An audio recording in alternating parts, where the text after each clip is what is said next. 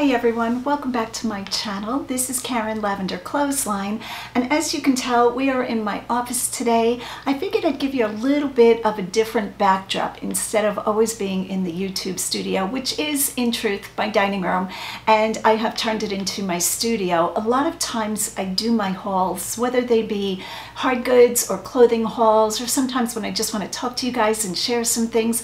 I wind up standing in front of the big window, which is really nice, but I figured I'd mix it up a little bit and do a sitting down haul. I could use the sitting down part.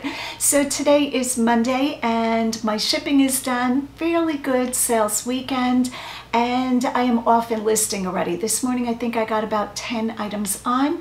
I will make this video and then probably head out to do some shopping. All right, so today is a clothing haul, which you guys know me, I've been doing a lot more hard goods and different types of items hauls, if that makes sense, rather than just clothing. But today I'm going to talk a little bit about what clothing I've been picking up. All right, so let's get on with the clothing haul. I'm just going to talk a little bit about why I picked these items up. They might be items that you're passing by. They might be items that aren't really on some BOLO list. That's what I always say. Now I do pick up a lot of the BOLO brands. It's not like I ignore those brands, but you'll see what I mean as we go along.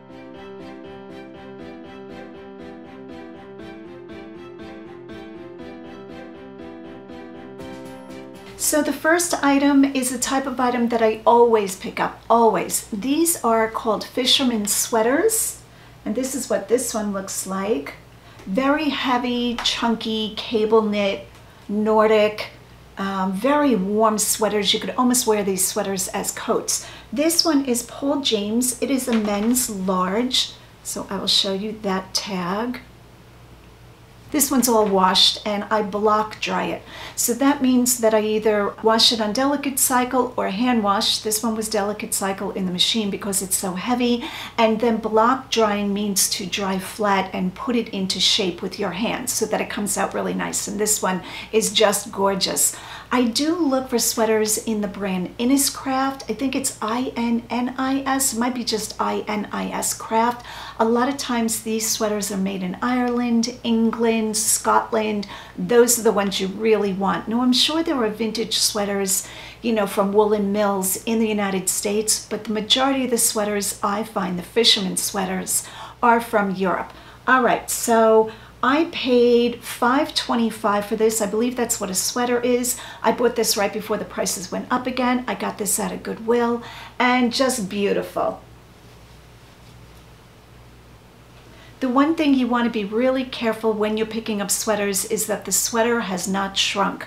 A lot of times if somebody washes a wool sweater in a warm or hot water, the shrinking will make the whole thing like tighten up. So you can feel it sometimes if it's been over dried or overheated in some way, hot water or a dryer, that it is no good. Do not pick up sweaters and think you're going to stretch them back into shape. A buyer can almost always tell that an item has been shrunk. These sweaters are 100% wool this one is made in England, pure wool, 100%. I'm not sure what kind of wool it is, but you can feel the minute you touch it that it's a wool sweater. The next item up is a pair of slippers that I just couldn't walk away from.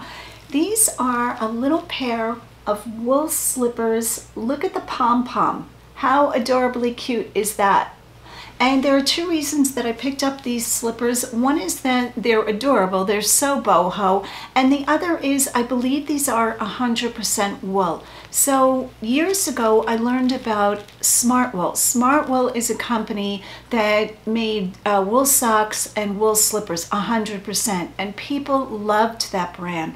I don't know that Smartwool, the company, is still making 100% wool, but I know people love a really good wool slipper, like a wool sweater. So these are actually made in Greece. That is another reason I picked them up. Embroidered woolen slippers produced in Greece. Number 37. I'm hoping 37 is the Greek size and I'm hoping that I can find a Greek size chart. I don't know that I've ever seen a Greek you know, comparative size chart, but I'll give anything a go. If I cannot find the US size, I will absolutely list the Greek size. It might be a UK size or a size, you know, an Italian size. I'm gonna have to figure that out. But I will just measure the footbed inside and out. That's if I can get a tape measure inside, but definitely give the measurement of the length of the slipper. I paid $5 for these. I have never sold Greek slippers before but there's always a first. So main reason is because they are 100% wool and super cute. I have no idea what I'm going to get for them because I've never sold Greek slippers before. So there you go. All right.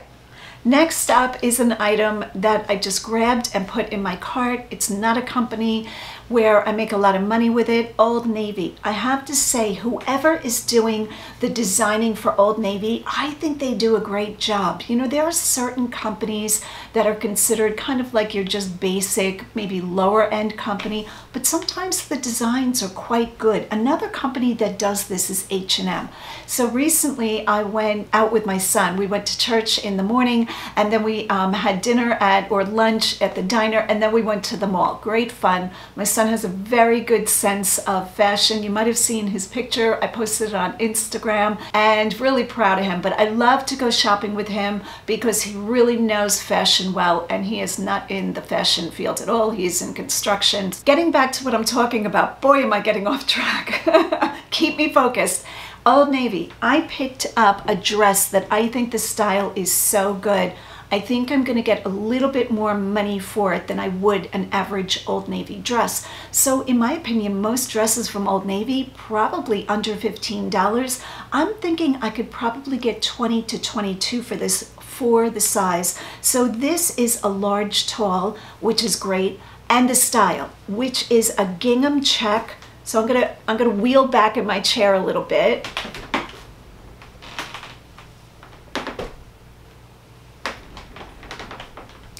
So as you can see, it is a wrap dress, it ties, and it has a real farm feel to it, in my opinion.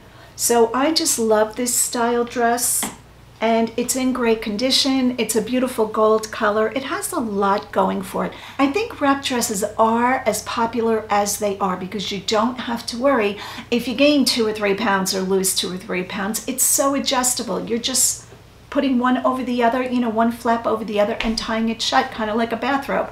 Who doesn't want to wear a dress that feels like you're wearing a bathrobe? Wear the Greek woolen slippers, done. You know, that's not a bad idea. If those slippers fit me, I would try that on. I wouldn't wear it out of the house, but all right, so that's what made me buy the Old Navy dress. Do not go out and pick up every Old Navy dress and say, oh, Lavender Clothesline, Karen said to pick up Old Navy dresses. No, don't do that. But if you find a dress in an average mall or outlet brand and you feel that style is trendy and you can get it for a couple of dollars, I say give it a try. A lot of times I am not paying attention to brands strictly, strictly brands. I am paying attention to style and condition as much as the brand. All right, let's go on to the next item and see why I picked it up.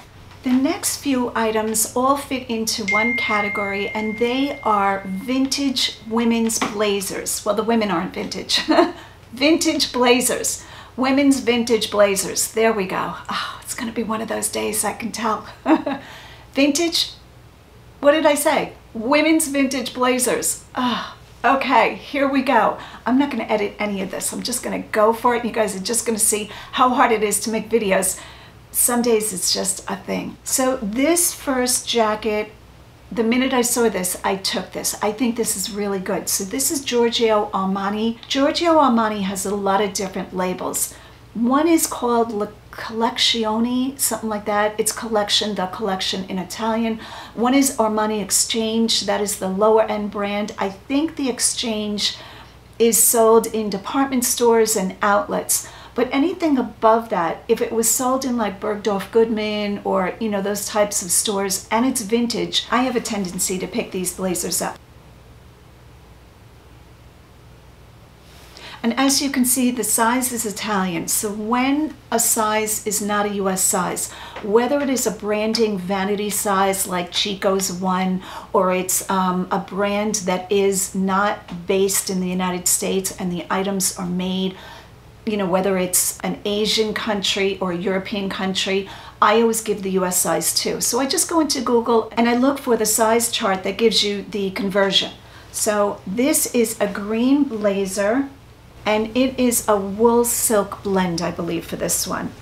Double breasted, beautiful condition. So one thing I always do with vintage clothing, I take a look at the inner lining, the satin lining, to see if there is any staining or color transfer or just any wonkiness with the underarms, with where the person sits on it, the back of the neck. You want to make sure that this satin lining is in good condition, that it's very clean looking. I also look at the blazer to see if it's been altered because a lot of times if a woman is a petite and she can't get a petite jacket in that store or wherever she's shopping, she will have it altered and the cuffs and the hem will be shortened. So I always go in and look that the sleeve cuff and the jacket hem hasn't been altered.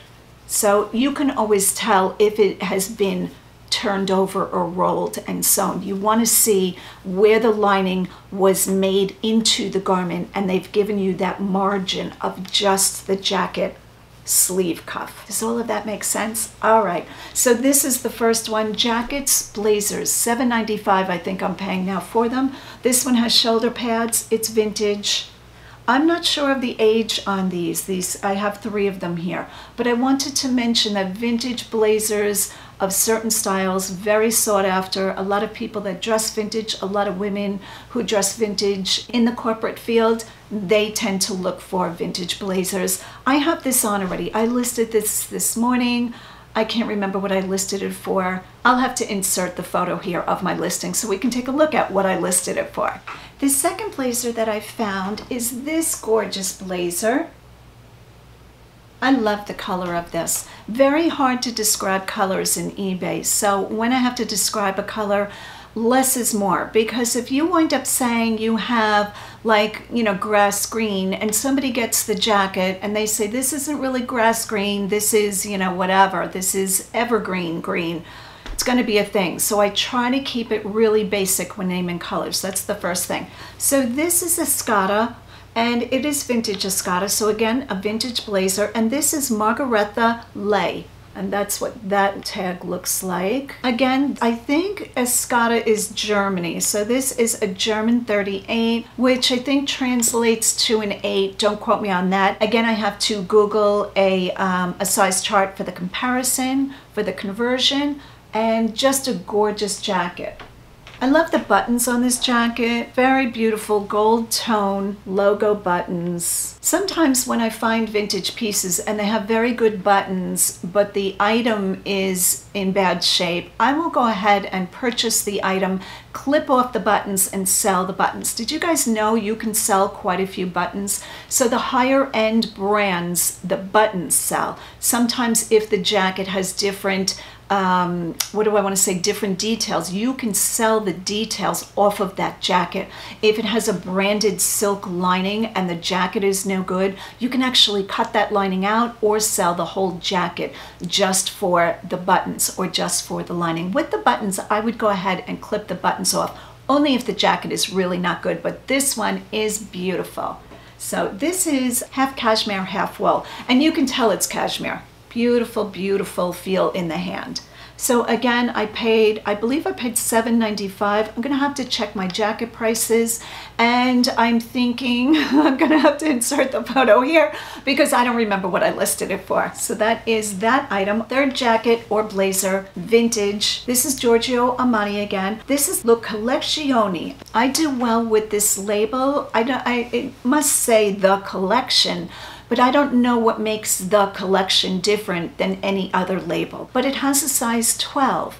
And 12, I don't believe, is a common Italian size. So I believe this size is already a US woman's uh, size. So I think this blazer was made for the American market. I'm not positive about any of that, but when I see a European garment with an American size, a US size, to me that would mean that it's made either in the United States for the Italian brand or it is made in Italy for the US market. This one says made in Italy, so I think it's made for the US market. Correct me if you guys know and I'm wrong about that. Okay, so most of these blazers will have shoulder pads. It's good to let your buyer know that, but buyers familiar with these garments know that most of them are gonna have shoulder pads because they're vintage and vintage blazers and jackets a lot of times have shoulder pads. So this is like a real um, business type, career type jacket. Beautiful. Again, this is wool and just in great condition. Another item that I like to talk about are slips. So I have picked up more slips than I care to remember. I will pick up vintage slips if they are really beautiful lingerie. The vintage ones do really well and they're just made gorgeous. You can tell that the lace is something special. I don't think you need to know a lot about vintage lace. It just has a more beautiful look than something that you're going to pick up from an everyday store like Kmart or Walmart or something like that. So it is good to learn about lace, but I don't think you need to know a lot about lace on slips. So this next slip, I showed finding this in Goodwill, and this is what it looks like. This one is profiles. So this is more of like a crinoline in my opinion. Crinolines are made to puff a dress out. They're made to expand the skirt part of a dress or a skirt in itself. And I don't know that this is especially vintage. It could be 80s or 90s. I think it's even after that. But I really liked the style of this. This might be worn for a wedding. It might be for a bride who wants her dress a little bit fuller, but really nice condition. It does have the upper layer being lace and then the bottom layer being a stiff tulle. This is like a crinoline. So slips, I believe I paid 250 for it and um, this is a medium. Would have been nicer if it was a little bit bigger, a larger, an extra large, but I'll go ahead and pick it up for 250 and I'm thinking I have not comped this. So with the satin trim, I'm thinking I should be able to get 20 to 25, if not more. If I comp it and it's higher, I will adjust my price accordingly. But I love picking up slips that are just beautiful quality or that are really special. This can also be used for Renaissance fair or some kind of cosplay. If you didn't know this name, you'd probably pass this type of sweater by because it's a raggy looking sweater. I kind of like this for myself, like when it's a cold wintry day and I'm just home listing. I love wearing like a really toasty, cozy sweater when I'm at my desk for long hours. It just makes me feel comfortable and um, yeah, and enjoy the time at the desk a little bit more. But this is Rag and Bone. I like the name Rag and Bone. This was sold at Neiman Marcus and it is a size large, which is great. Rag and Bone is a good solid brand. The jeans do well for me. I don't find them that often. And like I said, I've stopped picking up women's jeans. If I found rag and bone jeans, I would probably pick them up if they were in great condition. Just a tweed. It's got like a texture to it. It's a waffle, a waffle knit sweater and um, a shawl collar. Some people will call cardigan sweaters that have a big shawl um, collar to it, they'll call it grandpa or grandma sweaters. Um, there are different names for them but I don't expect I will have this long. I haven't even um, done anything to it yet. So it's not listed, it's not washed, it's not anything. Tags are still on it, you know, the barbs. When you see my barbs is still on it, that means I haven't done anything with it yet. And this will probably be listed this week. I'm not sure what Rag & Bone is bringing. It used to bring more, one of those brands, a lot more than it brings now because people caught on to the name from YouTubers sharing it. Ah, I love sharing with you guys. So just know, as a side note, I share like 95% of what I'm doing. There are certain things that I don't share. If something is really sensitive and it's going to destroy me making money on it. So say I found, I don't know, a store with a closeout of a certain thing. Like the time that I found all of those phones at Turkey Hill. So I got a tip from a friend who couldn't do it that Turkey Hill was clearancing out their uh, phones, their mobile phones, whatever we want to call them. And I went to a gajillion Turkey Hill gas stations and bought them all out. They were originally like 35 or 45 and they were on clearance for $5. So I went to every single store. I wouldn't share that because if everybody ran to the Turkey Hill, that's it, it's done.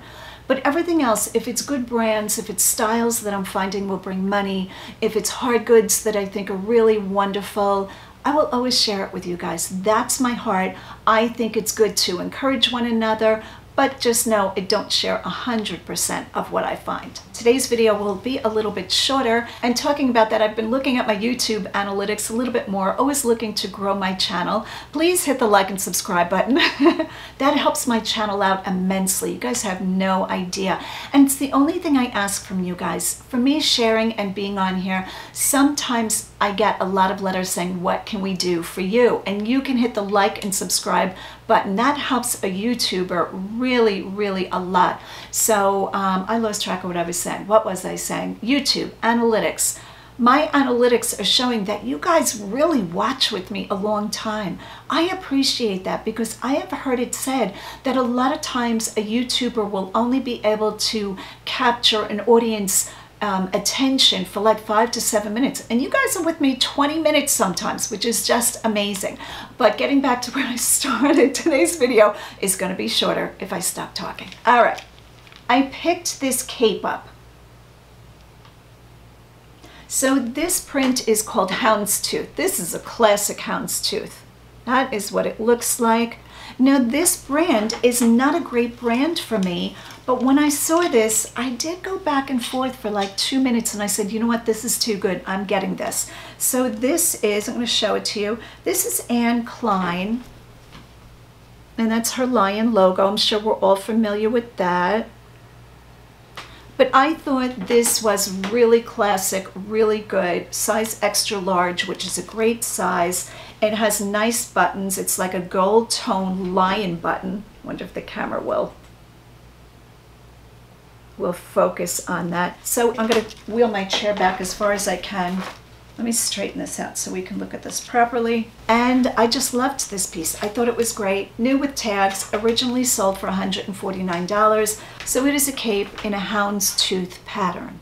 Okay, so that I got charged a sweater price and sweater prices are right under $6 right now. I should be able to get 60 for that, even though it's just Anne Klein. So, um, so I said yes to it and put it in my cart. It's in great shape. It's new with tags. Okay guys, so that is the video for today. Thanks for hanging out with me. Once again, I'm nagging. Hit that like and subscribe button. And as always, go out and get what's yours.